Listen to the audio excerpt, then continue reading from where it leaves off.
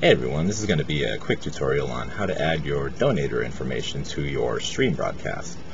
Um, this is uh, actually pretty easy to accomplish with a program that has come out from a person called NightDev, who is also known for doing a few other projects on Twitch TV.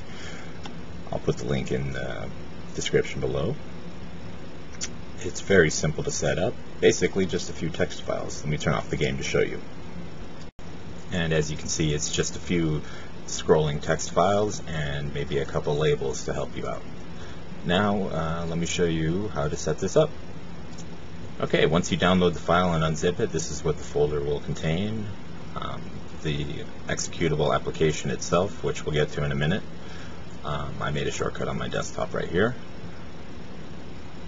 And then these are the three text files that you're going to load into XSplit or OBS. You have donator list, most recent donator, and top donator. Those are just plain text files that are created by the program. You also have your sound file that you can use to play when you get a new donation. You can change that to whatever you like. You just need to specify it in the options, and I'll show you how to change your options right now.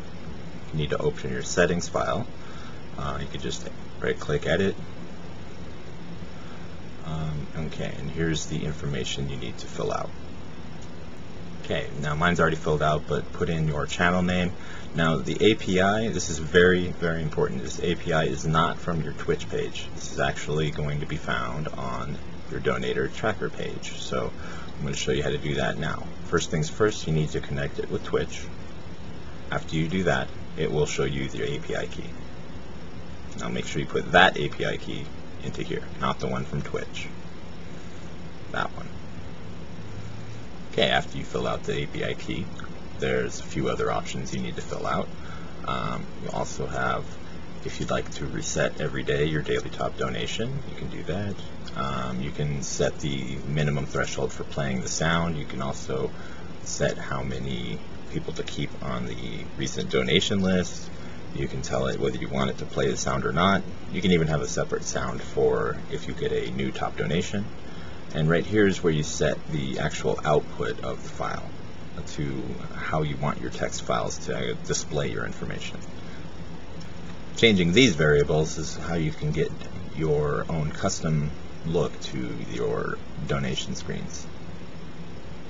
Now after you have your file set up and you run the donation executable, when the black uh, DOS box opens up, you just minimize it and let it run while you stream, and it will capture any incoming donations.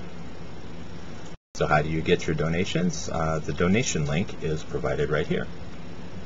Uh, copy that, put it onto your Twitch page, and people can click on that to donate. Make sure you fill out your information here with your email address so that it goes to PayPal correctly. Um, you can put a message to whoever donates to you, and they'll see a thank you message or whatever you'd like to put. And after you fill that out, that's basically all the setup it needs. Uh, just distribute your donation link, put it out on uh, your Twitch page, and as donations come in, you can look at this page and track them, see exactly where they're coming from, how much, and if they happen to leave you any notes.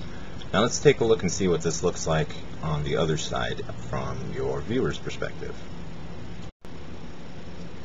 Okay, and here's my simple Twitch page, and um, just for example to show you, you scroll down to the boxes here after you set them up, just put the link that was provided into there, and once you click on it, you can see that it takes you to the donation page. Everything's already set up for you. Um, you just need to fill out the amount and if you want to put your Twitch username, otherwise it will show up as anonymous. Once you click send donation, it takes you directly to PayPal. After the payment is confirmed, the donator can even leave you a message. They can click the link uh, right there, and after they do that, that message, if you wish, you can display it on your stream as well. See how I have set up at the bottom where it says no message. That was from the first donation. Nothing was there. This time on the pretend donation, we'll just say great job. Anyway, after you pay, we'll take a look at the program. It just takes a very short time to update.